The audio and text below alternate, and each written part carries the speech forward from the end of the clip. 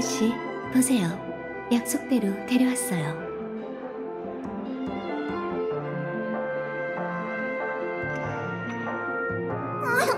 괜찮아. 현실에서도 꿈에서도 네가 안 보여서 걱정돼 죽는 줄 알았어. 무사해서 다행이야. 소개할게. 이쪽은 블랙스완 씨. 기억의 정원에 기억하는 자야.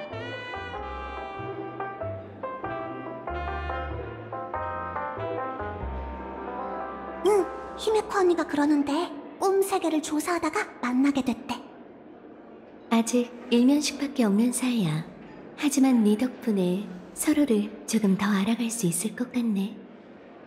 그나저나 어쩌다 그런 곳에 떨어지게 된 거야? 무슨 일 있었어? 그러니까 붉은 옷을 입고 다른 사람으로 변신하는 환술 능력을 가진 여자가 널 습격했다는 뜻인가? 이름은 스파클. 페나코니에 섞여 들어온 가면의 우인이죠. 한동안은 찾아오지 않을 테니 걱정 마세요. 분명 뜻대로 된 줄 알고 어디선가 뿌듯해하고 있을 거예요. 그 아이를 잘 아는 모양이군. 물론이죠. 저는 이곳의 모두를 잘 안답니다. 페나코니에선 누구든 거짓말을 할 수 있지만 기억은 그렇지 않거든요. 여러분에게 한 가지 사실을 알려드리죠. 스파클 씨의 속임수가 사람을 환각에 빠뜨릴 수는 있지만 그 기묘한 꿈 세계는 페나코니 자체에서 비롯된 것이지 그녀와는 아무런 관련도 없어요. 페나코니 자체에서요? 아직도 모르겠어? 무슨 수를 썼는진 모르겠지만 꿈의 땅은 가족이 심혈을 기울여 지켜낸 결과물이자 완벽하게 설계된 좋은 꿈이야. 하지만 네 친구가 떨어진 기억의 영역이 바로 꿈 세계의 본 모습이지. 혼란스럽고 위험하고 신비롭고 변화무쌍한 미궁에는 기억의 괴물들이 도사리고 있어. 맞는 말이야. 너희들 혹시 꿈 여정을 시작했을 때 어떤 풍경이 펼쳐졌는지 기억나? 다들 같은 풍경을 본 건가? 그 후에 객실과 거울을 지나 쥐나긴 복도에 도착했던 것 같은데. 생각의 회랑. 호텔 직원은 그걸 이렇게 부르더군. 그 풍경 말이야. 꿈속 페나코니와는 이질감이 느껴지지만 블랙스완 씨가 설명한 꿈 세계와는 비슷한 것 같지 않아? 맞네. 처음엔 그게 신경 쓰지 않았는데 돌이켜보니 확실히 비슷한 구석이 많지. 게다가 몇몇 단골들에게 들은 이야기인데 원래 꿈 여정을 시작하면 가장 먼저 꿈속 호텔에 도착해야 하지만 예상치 못한 사건으로 현재 수리 중이라고 하더라. 어떤 상황이 벌어져야 건물 전체를 수리할 일이 생길까요? 이 친구가 겪은 일까지 종합해보면 답은 확실해지죠. 페나코니의 좋은 꿈은 침몰하고 있는 거예요. 원래의 모습대로 돌아가고 심해에 빠지는 거죠. 침몰이야? 그렇다면 꿈 세계가 무너지고 있다는 건가요? 꿈 세계 호텔에 일어난 일이 그 징조인 셈이지. 이제야 가족의 언행에서 위화감이 느껴지던 이유를 알겠어. 이 소식이 외부에 퍼지면 투숙객의 실제 안정과는 별개로 축제에 비할 명예가 추락할 터. 그들로선 조화의 축제가 머지 않았으니 어떻게든 그 사실을 숨겨야 했겠지. 아마 투숙객의 안전도 보장할 수 없을 거예요. 이 친구가 마주친 괴물이 그 증거잖아요. 다시 한번 강조하지만 그건 기억의 영역의 밈이에요. 죽음과 살해를 뜻하는 밈이 가족이 공언하는 100% 안전한 꿈에 나타날 수 있었던 건 페나코니에선 누구든 거짓말을 할 수 있기 때문일 텐데 가족도 포함인 걸까요? 블랙스완 씨, 어떤 상황인진 대충 알겠어요. 그럼 다시 처음 제안으로 돌아가서 기억의 정화는 왜 은하열차와 협력하기로 한 거죠? 음, 한 가지만 바로 잡을게요. 이건 제 개인적인 부탁이지 기억의 정원을 대표하는 게 아니에요. 질문에 대한 답은 간단하죠.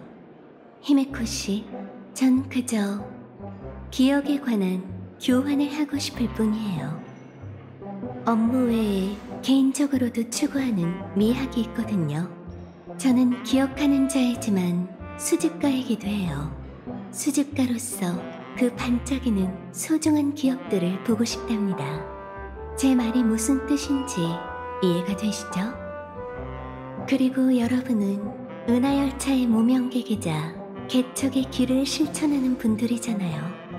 전 여러분의 잠재력도 이 무대에서 유일무이한 빛을 뿜어내리라는 것도 믿어요. 이게 바로 여러분과 친구가 되고 싶은 이유랍니다. 악몽과 좋은 꿈이 교차하는 지점은 기억의 요람으로 제격이죠.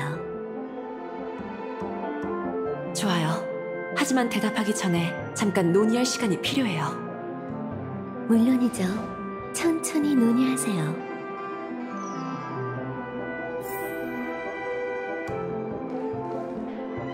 히메코, 어떻게 생각해?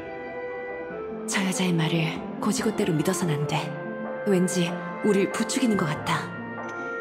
하지만 최악의 상황이 걱정되는 건 사실이야. 꿈 세계의 이변이 실제하고 그 이변이 자연스러운 게 아니라 누군가의 계략이라면 높은 확률로 시계공의 초대장과 관련이 있겠지. 음, 어떻게 추론해낸 건데요? 우선 극단적인 상황은 배제하고 꿈 세계의 이변을 일으킨 배후가 가족과 대립하는 입장이라는 걸 고려하면 두 가지 가능성만 남게 돼. 누군가 페나코니에 대한 가족의 통제력을 방해하기 위해 외부 세력을 끌어들였거나 가족이 자구책으로 외부의 지원을 요청한 걸세. 하지만 초대장의 암호문과 가족의 반응으로 짐작건데 전자의 가능성이 더 높네. 그렇다면 무명객의 암호문을 보낸 사람과 꿈 세계의 이변을 일으킨 배우자가 같은 소속이거나 한 사람일지도 몰라. 하지만 그것만으로는 모르는 일이죠. 수법만 놓고 보면 우인과 리들러도 할 수 있는 일이고 컴퍼니도 암호문 해독에 성공했잖아요. 마치 세븐스? 확실한 건 아니니 벌써 긴장하지 마. 하지만 이 암호문이 단순한 장난이 아니라 개척을 향한 의도적인 초대라면 우리도 더 이상 두고 볼 수만은 없지. 그럼 이제 내 발견을 공유할 차례군. 안타깝게도 나쁜 소식일세. 믿을 만한 소식통에 의하면 페나코니에서 은빛 갑옷을 입은 거구의 사내를 본 사람들이 있다더군. 사냥개 가문을 수소문하고 침입자를 봤다는 손님들을 찾아다녔다네. 그리고 이걸 얻었지. 보냈으니까 확인해봐. 들려? 은하열차 오랜만이야. 페나코니에서 재밌게 놀고 있으려나? 어? 그 해커 소녀잖아! 본론만 말할게. 너희가 페나코니의 이상현상을 조사하고 있다는 거 알아. 우린 그 모습을 지켜보는 게 즐겁다고 해야 하나? 너희가 더 깊이 조사할수록 좋은 꿈의 진실에 더 가까워질 수 있을 테니까. 알아낸 정보가 있거든. 이제 내가 그 정보를 넓은 아량으로 공유하려고. 그런데 어쩌나 즐거운 휴가도 이제 끝이겠네. 이 코드를 드림풀에 입력하도록 해. 꿈 여정에 사용되는 장치 말이야. 그리고 히든맵에 가서 확인해봐. 좌표는 압축해뒀으니 한 번에 복사하면 돼. 다들 쌤 이야기는 들었지? 기대해도 좋아. 그 녀석은 단순해서 정정당당하게 겨루는 걸 좋아하니까 너희와 죽이 척척 맞을 거야. 그 녀석의 열정에 밀리지 않길 바래. 참, 쌤이 이 말을 전해달래. 닿을 수 없는 꿈에서 머지않아 연극이 펼쳐진다. 각 세력이 움직이기 시작했으니 힘내. 너무 뒤처지지 말라고, 무명객. 그 스텔라론 헌터들! 페나코니에도 판을 깔아뒀더니 진짜 성가시다니까! 상황이 확실해졌군. 축제의 별은 겉보기와 달리 그리 간단한 곳이 아니었어. 시계공의 유산을 둘러싸고 가족을 포함한 여러 세력이 각자의 목적을 위해 서로 견제하고 있지. 유산이 뭔지는 모르겠지만 이 쟁탈전으로 무고한 사람들까지 휘말리는 건 시간 문제일세. 용암의 불길 기사 샘은 그라모스 철기관 잔당이라고 하네. 태생적으로 유전자가 기조된 전사라 일반인과 인지력이 다르고 행동 또한 결단력 있고 매정하다더군. 카프카나 블레이드에 견줄만한 위험 인물이야. 이건 협박 편지일세. 은낭이 이야기한 히든맵은 봉쇄된 꿈세계 호텔이겠지. 앞으로의 일을 생각해서라도 반드시 현장에 다녀와야겠군. 그래서 곧바로 제안하지 않은 걸세. 하지만 지금 보니 은하 열차가 나서야 할 이유가 있는 듯하군. 가족이 물으면 열차팀은 스텔라론 헌터를 쫓고 있다고 사실대로 얘기하면 될 테고 그럼 그쪽도 이해해 줄 거네. 우린 상대의 반응을 보고 다음 작전을 진행하면 되겠지. 아무래도 의견 일치를 본 것 같네. 그럼 돌아가서 블랙 스완 씨에게 얘기해 주자.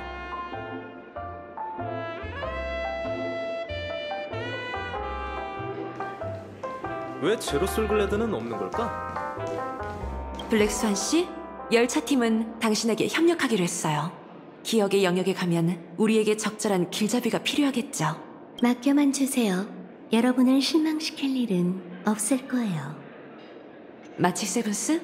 방으로 돌아가서 꿈 여정을 준비하도록 해. 모두 순조롭다면 꿈세계 호텔 로비에서 다시 만나자. 난 현실에 남아 모두의 안전을 지키겠네. 그리고 필요에 따라 직접 가족과 협상하는 것 어떤가, 블랙 스완 씨. 여러분의 동료를 구했는데도 절 못 믿으시는 모양이네요. 물론 이의는 없답니다. 그저 기분이 좀 상했을 뿐이죠. 부탁할게, 웰트. 그럼 우리는 꿈세계의 진실을 보러 갈 준비나 하자고. 앞으로 한동안 바쁘겠네. 반디는 현실로 돌아왔으려나? 아, 내겐 연락처가 없지. 블랙 스완 씨에게 물어보자.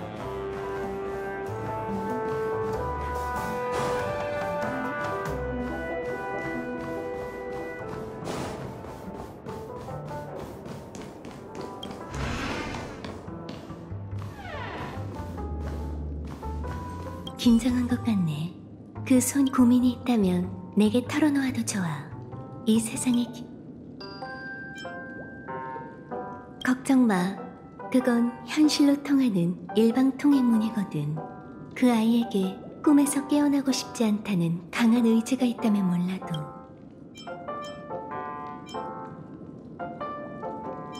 그래, 내가 지켜. 페나코니에 오신 것을 환영합니다, 손님.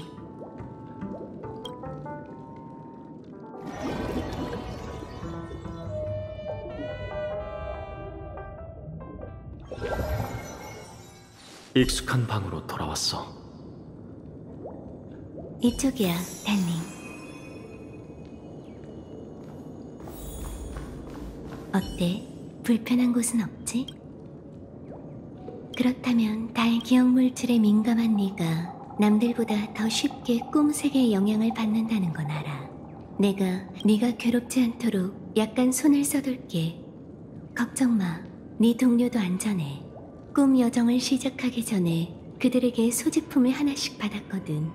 이러면 기억의 영역에서 두 사람의 존재를 느낄 수 있지. 다들 각자의 방에서 깨어났어. 이제 안심하고 날 따라올 수 있겠지? 시간이 없으니 어서 로비로 가보자. 마치 세븐스의 방이 코앞이니 가서 합류하자.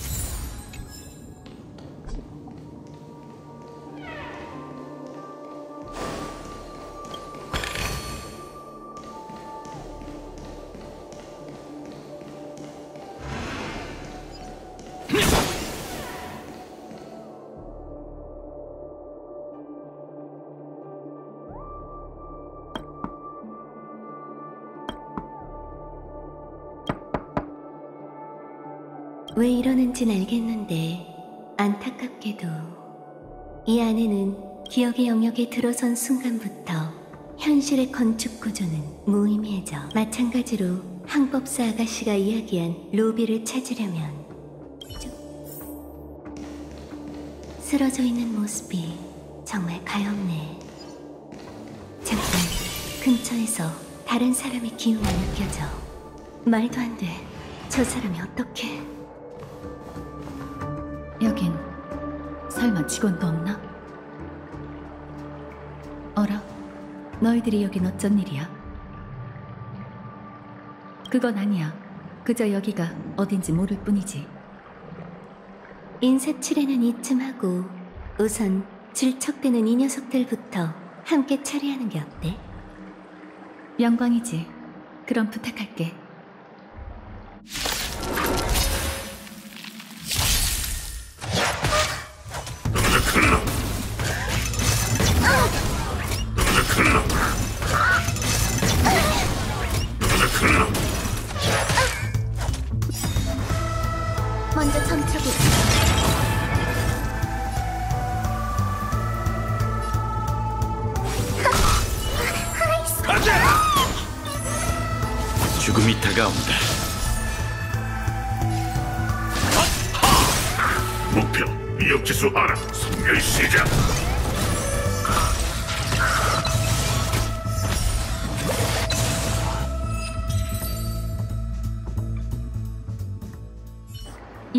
잠잠해졌네. 둘은 여기 어쩐 일로 온 거야? 그건 우리가 묻고 싶은 질문이기도 해. 어쩌면 너희 생각처럼 복잡한 일은 아닐지도 몰라. 이게 다 한 가면의 우인 때문이거든. 내가 무심코 던진 말에 기분이 상한 모양이야. 눈앞에 화려한 빛이 펼쳐지더니 어느새 여기 도착하게 됐지. 뭔가 숨기고 있는 건 아니지? 숨기다니. 기억하는 자 앞에선 불가능한 일일 텐데. 마침 잘 됐네. 이 꿈 세계는 위험천만하거든. 목표가 같은 듯하니 함께 다니는 게 어때? 너희들이 다치지 않도록 지켜줄게. 기억의 영역에선 나도 기억하는 자의 도움이 필요하고 또 가족을 만나더라도 사람이 한 명 더 있으면 설명도 보태고 좋. 네 생각은 어때?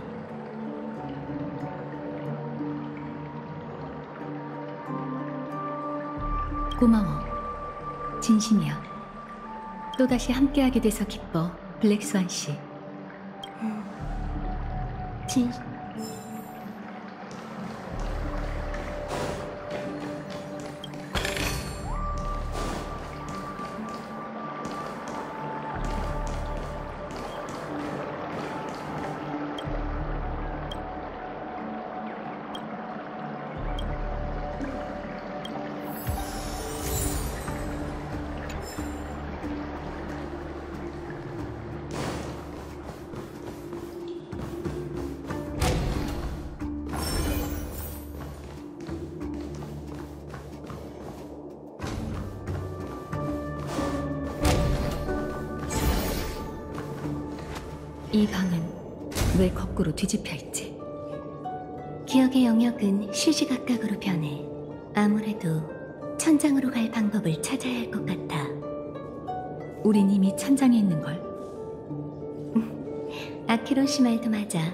어쨌든 우린 위쪽에 있는 평면으로 가야 해.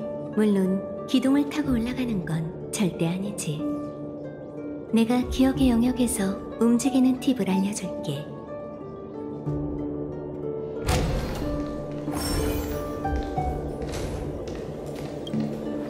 어때? 몸 주변에 흐르는 기억 물질이 느껴져?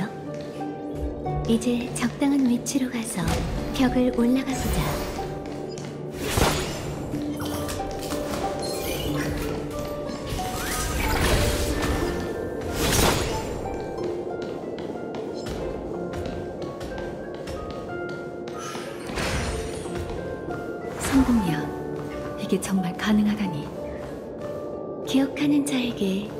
기억의 영역은 놀이동산에 불과하지. 자, 이제 정문으로 나가자.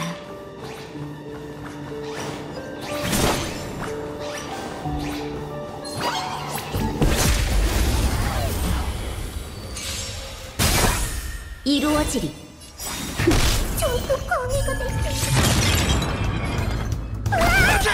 배용이 주 죽음이 다가온다. 두렵지 않아요. 역대가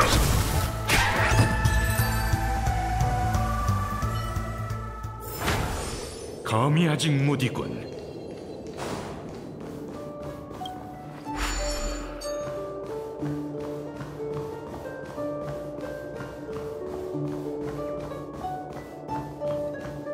여긴 막다른 곳이야. 제법 순조로운걸? 넌 기억에 천부적인 재능이 있어.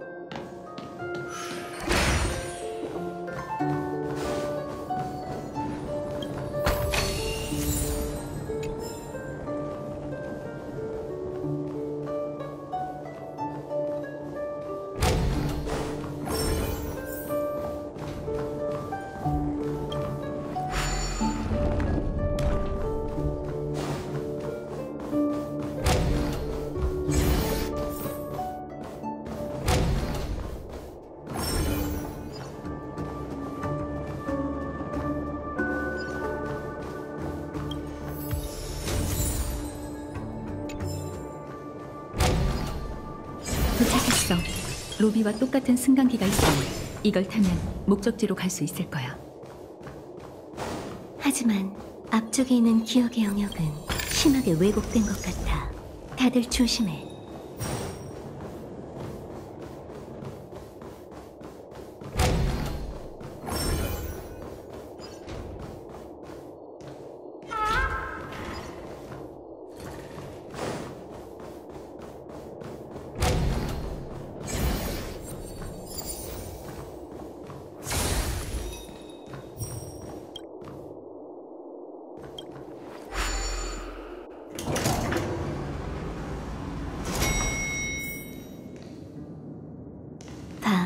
그렇게 쉽지 않을 거라고 했잖아.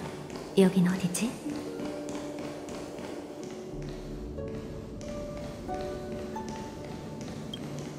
이 문도 잠겨 있잖아.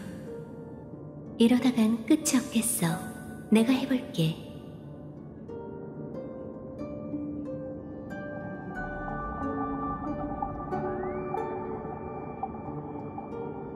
이 영역은 과도하게 왜곡되어 있어. 아무래도 고상하지 못한 방법을 써야겠네. 그러니 잠시 시간을 줘. 음, 찾았다. 이 꿈 세계의 중심을 찾았어. 몇몇 가족과 다른 형체가 더듬거리며 나아가는 걸 보니 네 친구들도 순탄치 않은 모양이야. 하나, 둘, 셋. 아니, 세 명? 로비로 가는 길을 찾는 사람이 한 명 더 있는데? 잠깐, 저건 너와 함께 다니던 그 소녀?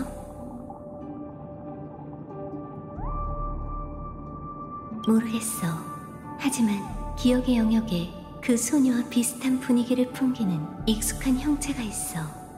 꿈속의 깊은 곳으로 가야 하는 이유라도 있는 걸까?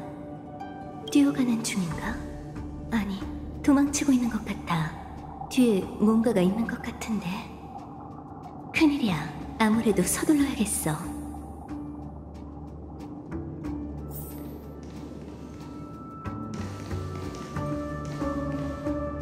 급박한 상황이니 이번만 너희와 함께 기억의 영역을 통과해야겠어. 너희가 그녀에 대한 이미지를 떠올리기 쉽도록 기억의 영역에서 그 소녀의 생각을 몇 가지 수집해왔어. 이제부터 그 생각을 붙들고 머릿속에서 이미지를 완성해봐. 조금 전에 엄청 익숙한 기억을 포착했어. 그곳에 나타난 친구는 그 소녀뿐만이 아니라 너희가 위험에 빠졌을 때 현장에 있던 제3자.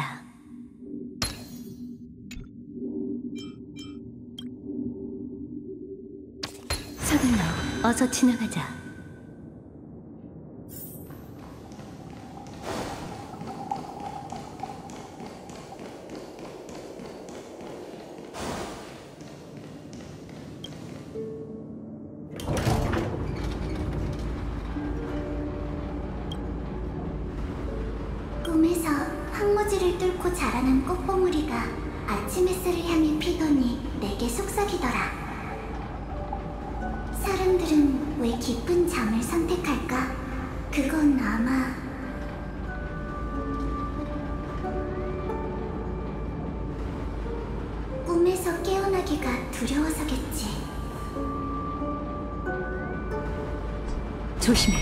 주변에서 위험한 기운이 느껴져.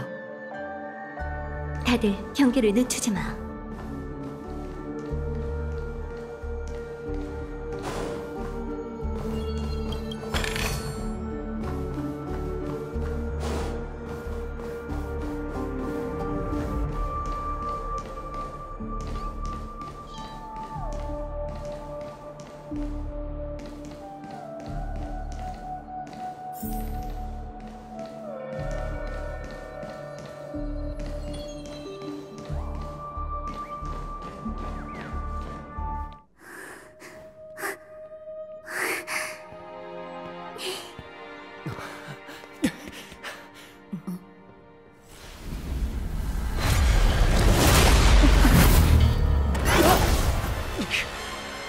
あっ。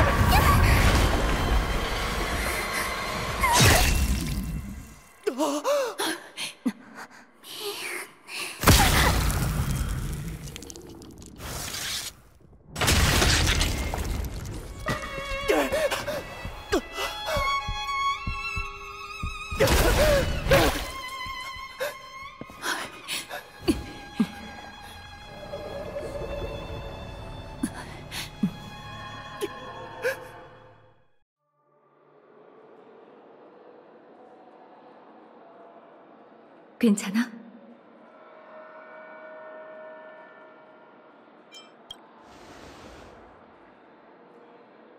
나 좀 봐. 진정하고 심호흡하는 거야. 알겠지? 내가 할게. 아무 일 없을 테니 마음 편히 가져.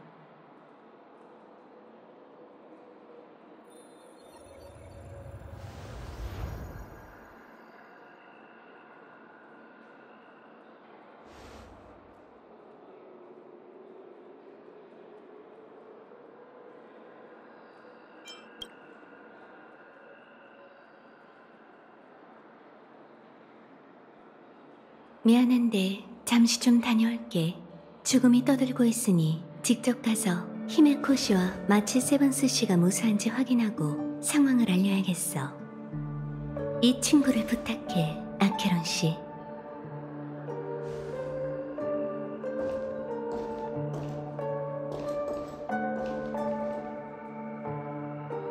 일이 이렇게 돼서 정말 유감이야. 그 여자아이를 신경 쓰느라 정신이 없어서 그만. 내가 머뭇거린 바람에 그 소녀가 죽었어. 미안해.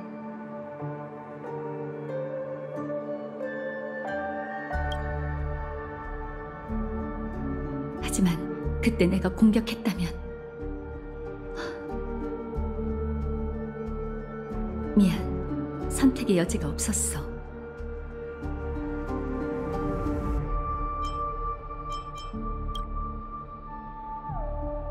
네가 화난 거 이해하고 받아줄 수도 있어. 하지만 지금은 때가 아니야.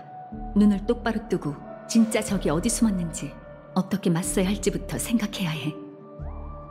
괴로운 감정에 휘둘리지 마. 네가 중심을 잡아야 올바른 길로 나아갈 수 있어. 누군가 내게 이런 충고를 했었지. 적을 불쌍히 여기지 마. 그건 자신에게 잔인한 일이지. 그러나 진짜 적이 누군지 똑똑히 판단해야 해. 그리고 검을 휘두르는 의의와 대가가 뭔지 반드시 알아야 하지. 이건 수많은 핏값을 짊어진 자가 내게 해준 유일한 충고야.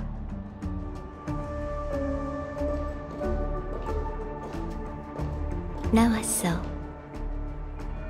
히메코 씨가 전할 말이 있대. 나쁜 소식도 있고 좋은 소식도 있어.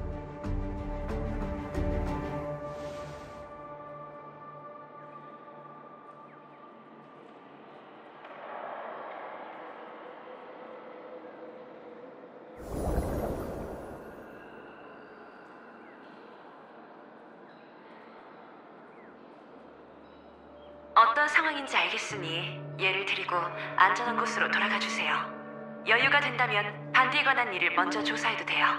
잠시 후 시계소년 조각상 앞에서 합류하죠.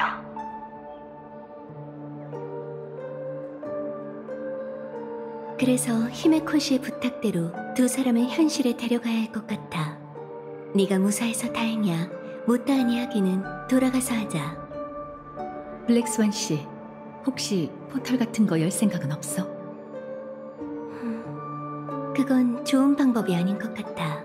이 친구의 정신 상태가 불안정한 것 같으니 방금처럼 거친 이동 방식은 최대한 피하는 게 좋을 거야. 그리고 돌아가는 길에 반디 씨를 위해 많은 일을 할 수 있을지도 모르잖아. 근처에 반디 씨의 흔적이 남아있을 거야. 그것들이 사라지기 전에 너희의 기억으로 만들자고. 돌아가면서 조사할 수 있다면 나쁘지 않겠네. 이만 가자. 다른 길을 찾아야지. 미안한데 몇 분만 시간을 줄래? 아직 할 일이 남았거든.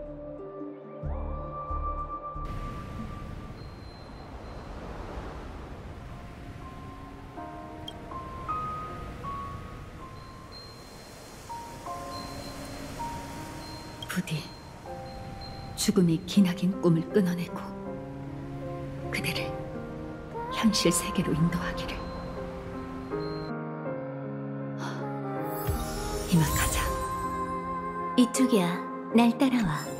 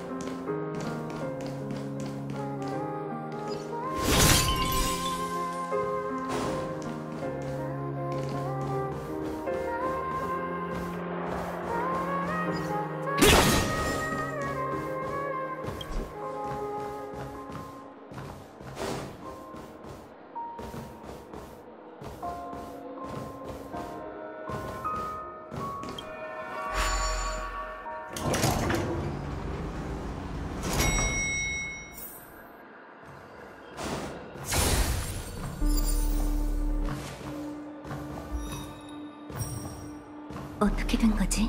기억물질에 뜨거 이루어지리.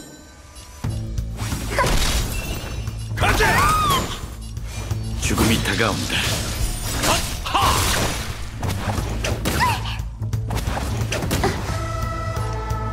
선멸 시작. 이마의 눈으로 보고 있어. 무서워요. 배웅이 주지. 전 괜찮아요. 두렵지 않아.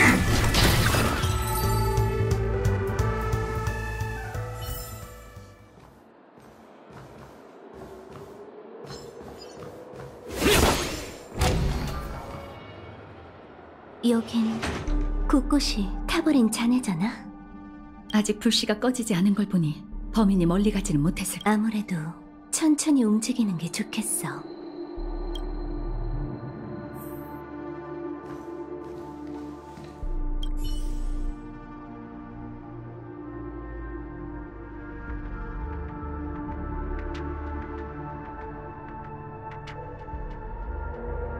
이 괴물은 열 에너지 무기에다.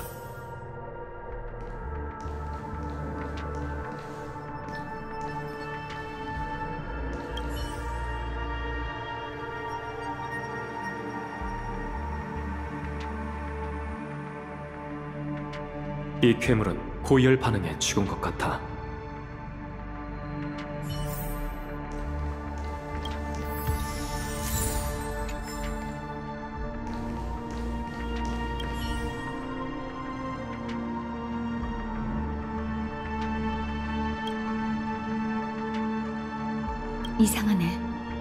흔적들은 모두 방금 남겨진 거야. 그렇다면 조금 전 떠난 사람이 방금 그 사건과 관련이 있다는 걸까? 이 정도 단서만으론 나도 추론하기가 어려워. 네 직감을 얘기해줘. 네가 그랬잖아. 기억은 거짓말하지 않는다고. 이 자네들의 기억에 따르면 그 사람은 평범한 성인 남성보다 키가 크고 건장해. 움직임이 빠르고 정확해서 괴물을 단칼에 처리하지. 아마 용병이나 킬러일 거야. 그는 로비 쪽 문을 통해 호텔 깊은 곳으로 들어왔어. 그렇다면 지금까지 있었던 일을 전부 봤다는 건데. 아까 했던 말은 취소할게. 한시라도 빨리 반디시의 흔적이 남겨진 기억의 영역으로 가야겠어. 그자의 처리 스타일로 봤을 때 그자의 목적지가 그곳이라면 현장엔 아무 단서도 남지 않을 거야. 이쪽이야. 내가 최대한 안정적인 지름길을 만들어줄게.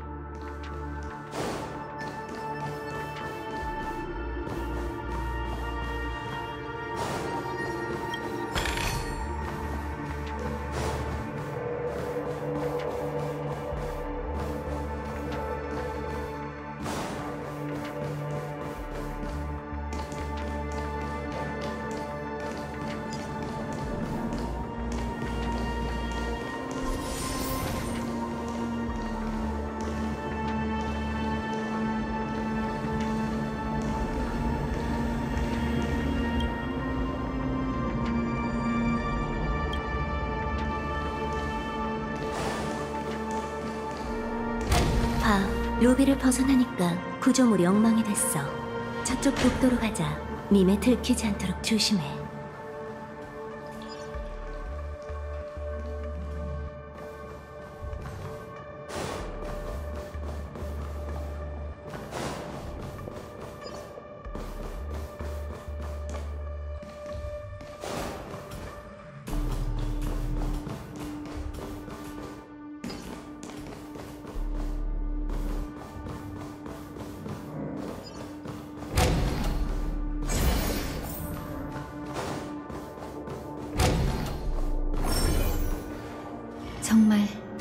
휘황찬란 그 자체네. 이 방 맞아? 맞아. 정확히는 이 아래지. 둘은 기억하는 자처럼 물리적 구조물을 통과할 수 없겠지만 너희를 안전하게 아래층 방으로 보낼 좋은 방법을 찾아냈어. 아주 간단해. 저 샹들리에 보이지? 이제부터 상식적으로 납득 가능한 작은 소동을 일으킬 거야. 지난번에 가르쳐준 내용 기억나지? 기억 물질의 흐름을 느끼며 벽 위로 올라가서 샹들리에 다가가 봐.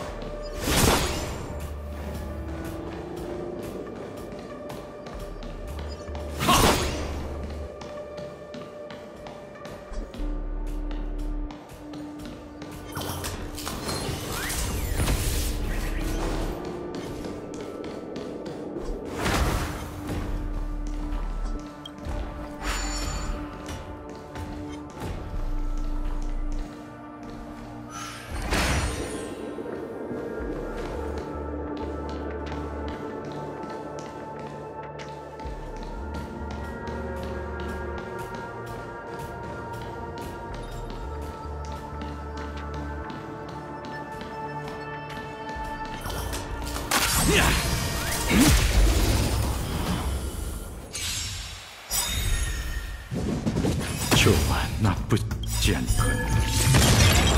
저도 모두를 보호하고 도와줘요, 스파르그 씨.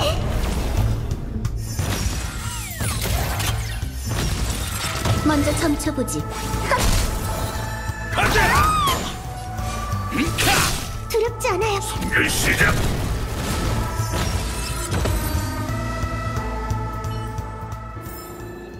감이 아직 무디군.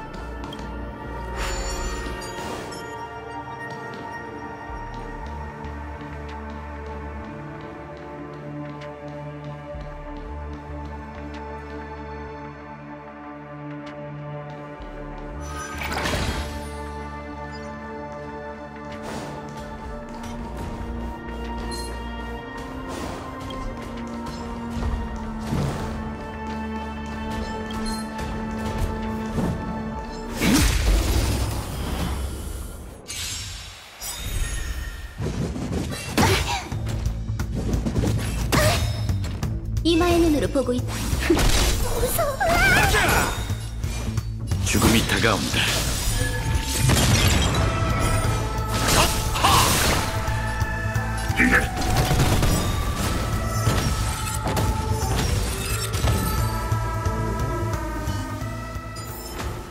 감이 아직 무디군.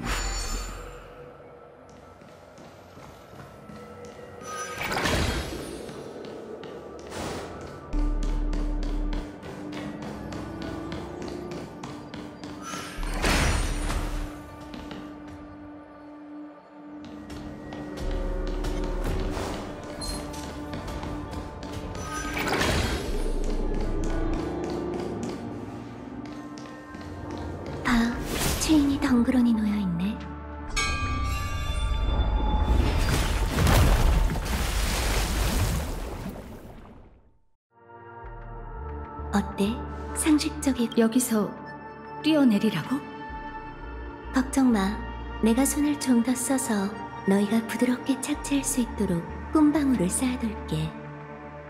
자, 준비됐어. 무사히 도착했네. 아무리 봐도 신기하단 말이지. 기억하는 자 없이 함부로 따라하면 안 돼. 그럼 소리를 듣고 몰려든 이 호기심 많은 녀석들을 돌려보내줄까?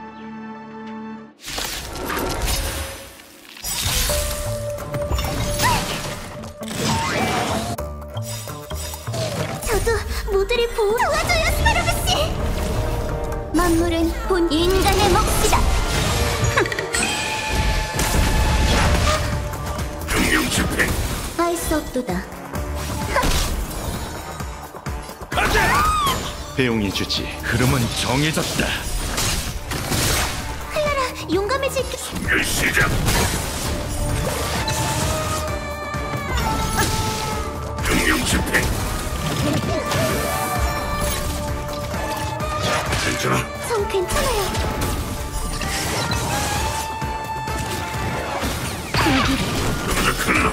먼저 점쳐보지. 하나가 되리라. 정신 봐줄 필요 없어.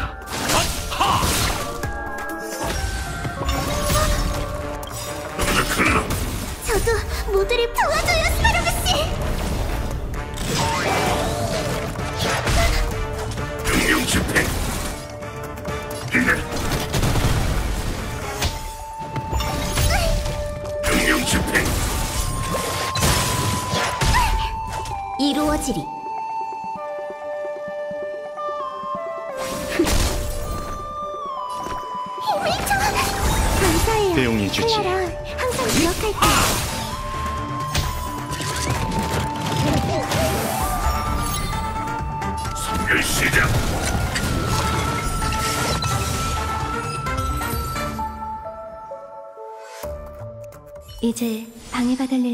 거야.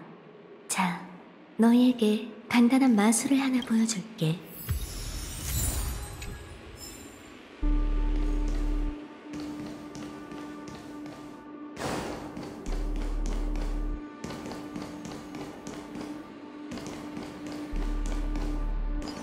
돌아와. 그쪽이 아니야. 준비됐어? 놀라서 이건 반디? 맞아. 이 방에 남겨진 그녀에 관한 기억이야. 바닥의 미세한 진동, 화면에 비친 그림자, 기억 물질의 흐름. 이것들을 모아 부분적으로 재현해낸 거지.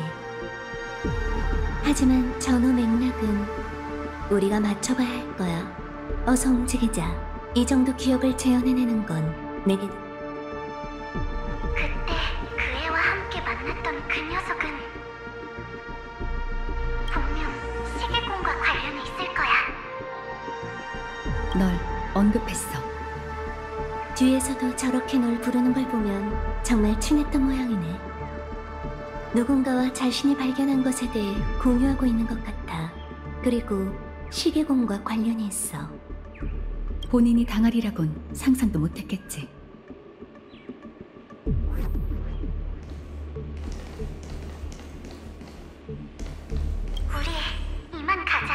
우리? 다른 사람과 한 한 번 더 가능하다면 화면을 거울 삼아 얘기한 걸까? 한 번 더라는 건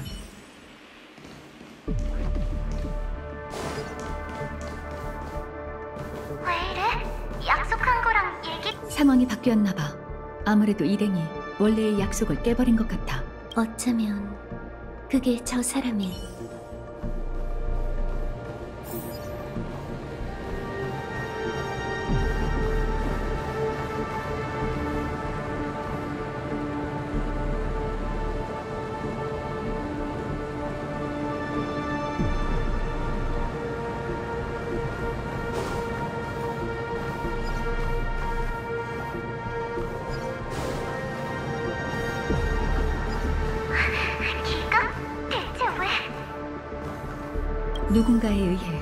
쪽으로 끌려왔어. 게다가 기갑이라 흥미로운 표현이네. 사냥개 가문도 은빛 갑옷을 입은 거구의 사내를 범인으로 줘.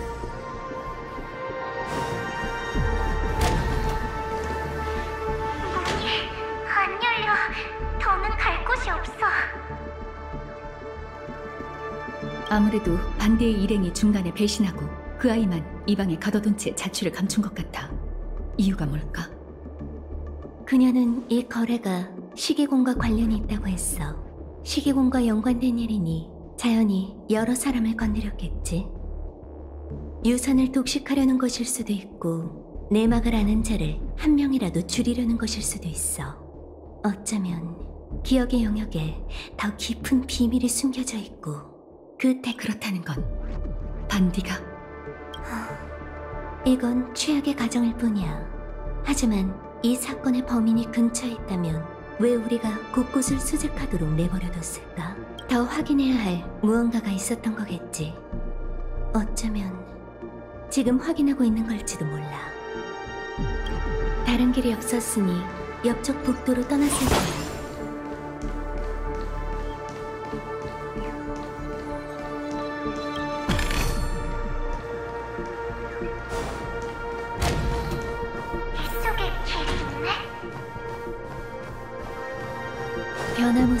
길은 방황하는 기억의 영역이 듯해. 그 아이는 기억의 영역에서 완전히 길을 잃은 거야.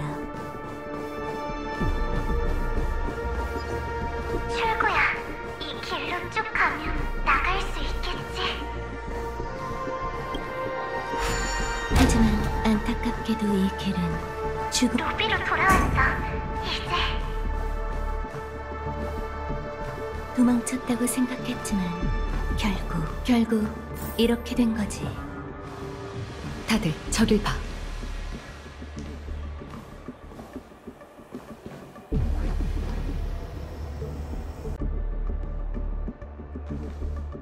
아무래도 누군가 우릴 기다린 모양이네. 이제야 무대로 나설 모양이군. 스텔라론 헌탑.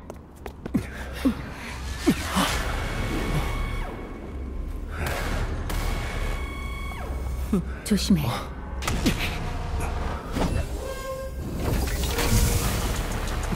갤럽 실레이자 그리고 기억하는 자. 지금 당장 떠나면 아무도 다치지 않는다. 그렇지 않다. 너희는 모두 죽어.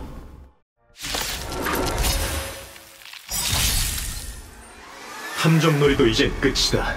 오지 말아야 할 곳에 발을 들였군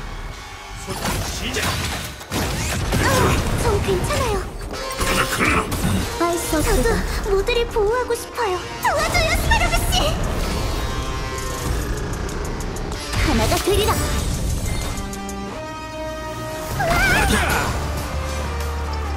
흐름은 정해졌다. 두렵지 않아요. 선멸 시작 심해를 불태워주지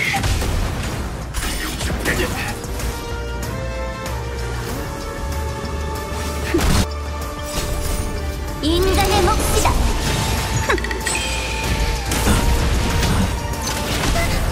능력 집행 현실로 돌아가면 잊지 말고 전해라. 스텔라론 헌터가 너희의 마지막을 배우겠다는 것을. 초코와 작전 집행! 무서워요. 도망치지 마 배용이 주지. 비안의 파멸!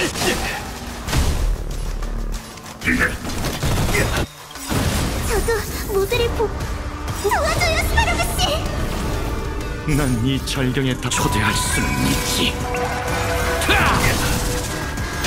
액션 투 집행 성큰 은행의 변화. 금융 집행 소탕 시작 금융 집행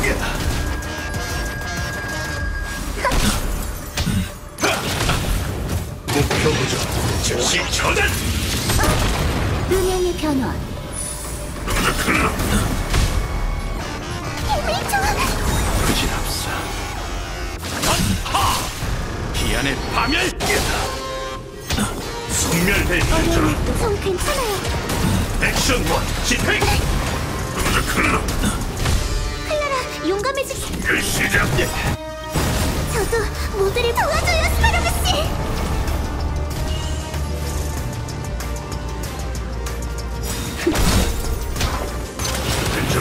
괜찮아 괜찮아요. 만물은 본디 그 법이 인간의 몫이다. 프로토콜 통과 초토화 작전 집행 금융 집행 저도 범위가. 목숨을 지켜줘. 감사해요. 클라라 항상 기억할게요. 난 이 절 초대할 수는 있지. 액션 투 집행 기안의 파멸. 클라 소탕 시작 두렵지 않아요.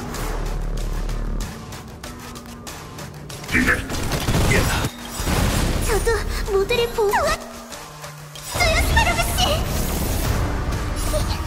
악한 악기들 몸이 상대해주지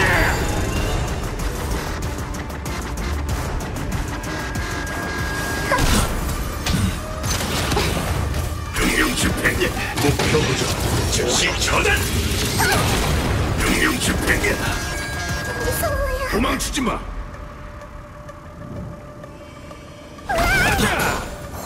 봐줄 필요 없어.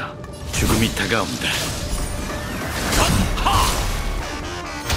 소멸될 기안의 파멸. 클라 액션 원 집행 이마의 눈으로 보고 있어.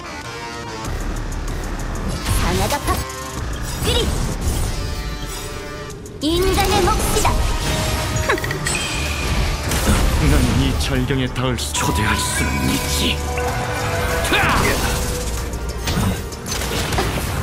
프로토콜 통과 초토화 작전 집행 음향의 변화.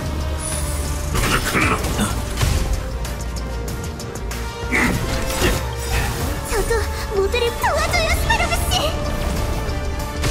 전부 범위가 될 텐데. 부질없어. 액션 투 집행. 기안의 파멸. 금융 집행 악한 악기들 몸이 상대해주지 소탕 시작 금융 집행 클라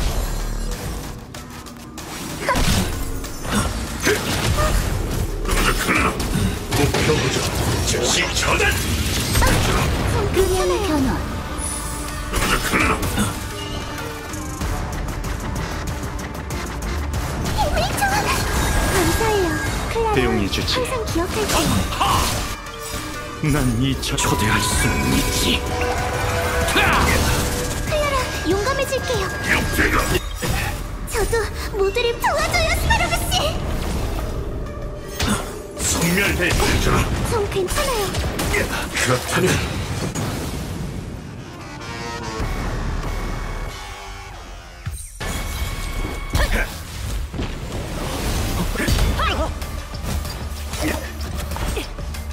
이 무대는 저들에게 남겨두자고, 달리.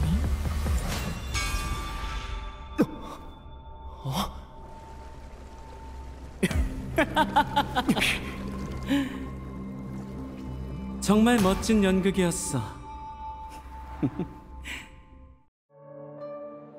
고생했어, 기억하는 자. 아주 멋진 계략이었어. 레인저와 헌터가 함께 나타났을 땐 얼마나 긴장되던지 네가 그들을 서로 싸우게 만들 줄은 몰랐다니까? 약속대로 이 아이를 데려왔으니 거래는 끝이야.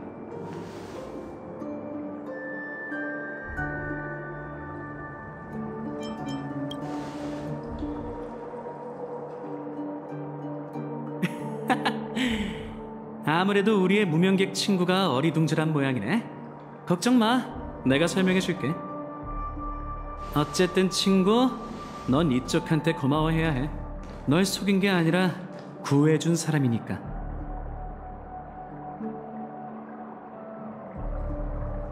그 갤럭시 레인저로부터 말이야. 그래, 난 이렇게 충격받은 표정이 참 좋다니까. 친구, 이제 톡 까놓고 모든 걸 알려줄게. 그 아케론이라는 여자는 네 생각만큼 간단한 인물이 아니야. 갤럭시 레인저는 무슨... 그 여자는 사도야. 죽음도, 이런 결말도 모두 그녀 짓이지.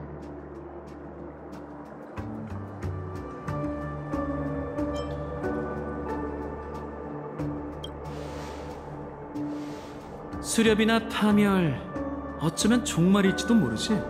그런 건 상관없어. 이런 운명의 길은 결국 하나의 결말을 가리키거든. 컴퍼니 쪽 정보를 알려줄게, 친구. 혹시 명화대공 페트라의 이프리트를 알아?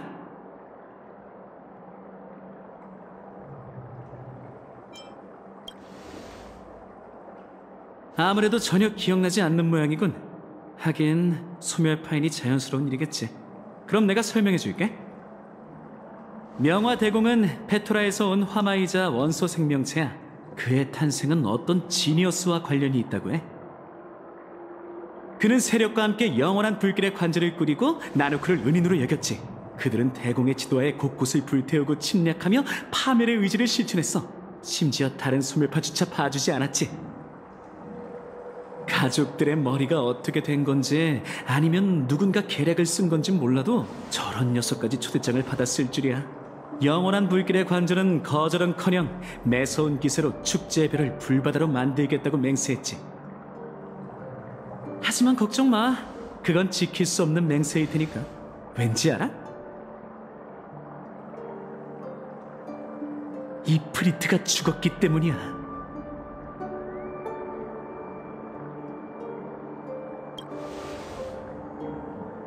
그들은 이곳으로 오는 도중에 죽었어. 범인은 불가사의한 방식으로 이프리트를 잔인하게 살해한 후 수멸파가 받은 초대장을 강탈했지. 그렇게 영원한 불길의 관저도 뿔뿔이 흩어지게 됐어. 그리고 그 후 신비로운 갤럭시 레인저가 페나코니에 도착해 오르골 하나만 가지고 호텔에 체크인한 거야. 뒷얘기는 굳이 더 안 해도 되겠지, 친구?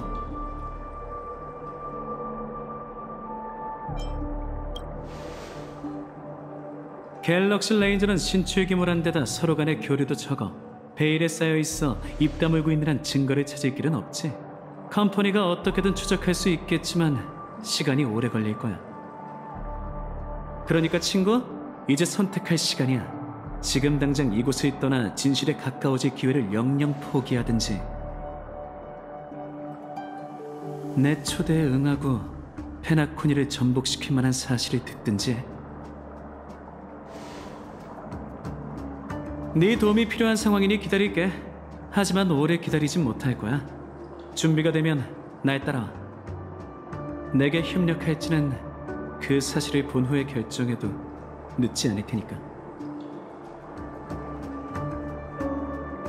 아키론 씨가 어떤 에이언즈의 사도라고? 어벤춘 씨 말을 믿어도 되는 걸까? 그래도 내게 선택권을 줬잖아. 아무래도 블랙스완 씨와 다시 얘기해봐야겠어.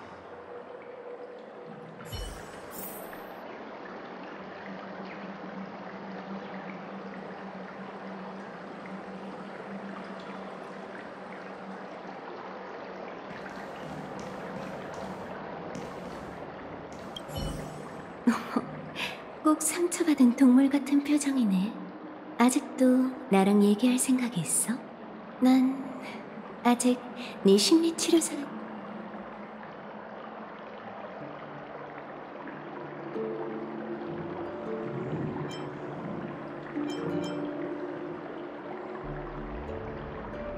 물론이지. 하지만 지금은 때가 아니야. 네가 혼란스럽고 몹시 슬프다는 건 알아. 그 여자아이가 누구든 어쨌든 네가 어벤츄린 씨를 아니면 날 믿고 그가 말하는 사실을 봐줬으면 해. 그래야 페나코니 기- 내가 널 지켜줄게. 그에게 더 많은 정보를 수집한 후에 널 다시 동료들에게 데려다줘도 늦지 않아. 진실과 더 이상의 무고한 희생. 혹시 모르니까 이제부턴 내가 밈의 형태로 네 곁에 있어줄게.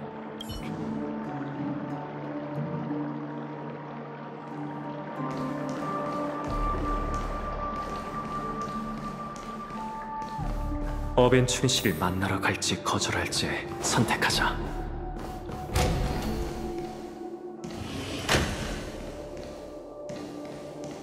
네가 올 줄 알았어. 참, 그 기억하는 자는 됐다. 무- 전에 내가 얘기했지. 동료와 상의하거나 반대로 날 역이용하는 것도 환영이야. 그것도 내게 너희의 가치를 보여주는 셈이거든. 난 믿지는 거래는 안 해. 친구들 부디 날 실망시키지 않았어. 가자. 이쪽이야. 참, 그렇게 말한 뒤에 내가 뭐라고 덧붙였더라? 아, 익숙한 복도와 방이네. 기억나? 지난번에도 여기서 만났잖아.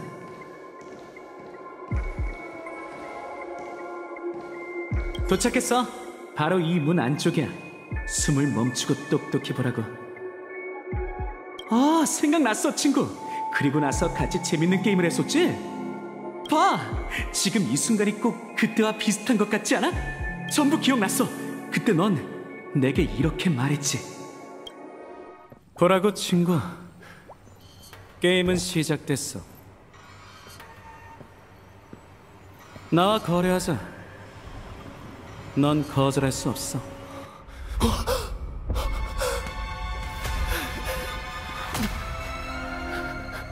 이유는 없고 선택의 여지도 없어.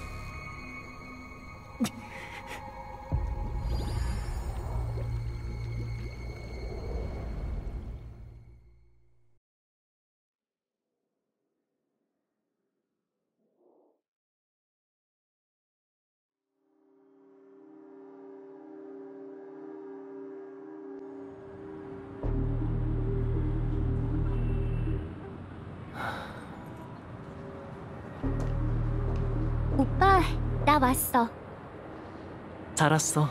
공연 준비는 잘 돼가? 그럭저럭 걱정 마. 그럭저럭? 음, 그건 곤란한데. 넌 가족의 자랑이잖아. 네 완벽한 노래가 불필요한 감정에 휘둘리지 않게 해줘. 알겠어. 오빠, 기운이 없어 보이는데 무슨 일 있어? 시계공에게 초대받은 손님들 때문에 그래? 그래. 죽음이 몇몇 손님을 데려갔다는 보고를 받았어. 어쩌면 누군가에게 사주받은 걸지도 몰라. 아, 미안. 네가 막 돌아왔다는 사실을 깜빡했네. 아마 이 일에 대해 모르고 있겠지. 언제부터인가 죽음이라는 악몽이 페나코니에 나타나 사람들을 무차별적으로 습격하고 모두에게 공평하게 정신적인 죽음을 가져다 줬어. 하지만 가족이 만든 좋은 꿈에는 어떤 불행도 일어나선 안 돼. 그것은 괘씸하게도 좋은 꿈의 질서와 평화를 깨뜨렸지. 그런 일이 있었구나. 설마 또 피해자가 생긴 거야? 그래. 피해자는 총 두 명이야. 미립국자. 그리고 너. 그만둬, 우인. 너에게 크게 실망했으니까. 정말 예리하네, 닭날개 소년. 조아의 성가가 정확했군. 우인의 말은 당초에는 우매하나 종국에는 간사하고 오만하니. 이만 돌아가 그분의 꿈 세계는 널 환영하지 않아. 아, 정색하지 마. 노래 가사까지 인용해가면서 뭘 그렇게 진지하게 굴어? 난 그저 이런 상황에서도 가족에게 나설 생각이 없는지 궁금한 것뿐이야. 네 불쌍한 여동생은 이미 죽었잖아? 동생을 위해 복수하고 싶지 않아?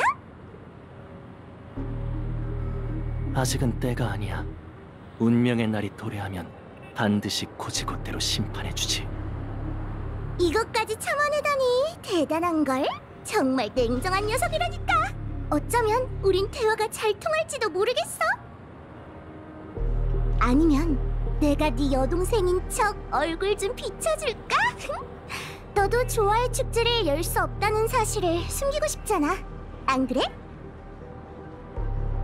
가족에겐 계획이 있으니 그 교활한 새치어로 내 사랑하는 여동생을 더럽히지 말아라. 우인이여. 아이 알겠어. 그냥 네가 원한다면 언제든 도와줄 수 있다고 말해주고 싶었다고. 누가 닭날개에 못장식을 박은 소년을 거절할 수 있겠어? 됐어. 이미 그분의 빛 아래에 범인의 정체가 탄로났으니 머지않아 자신의 꾀에 걸려 넘어질 거야. 그자가 뉘우치지 않는다면 그분께선 칼을 휘두르고 활시를 당겨 악인이 흩뿌린 독이 제 머리에 떨어지게 할 것이다. 그때가 되면 그분을 경외하지 않는 외부인은 자신이 저승에 가게 될 평범한 인간이란 걸 깨닫겠지. 그리고 난 그분의 선봉장이 되어 너에게 좋은 소식을 전하리다. 시계공이여.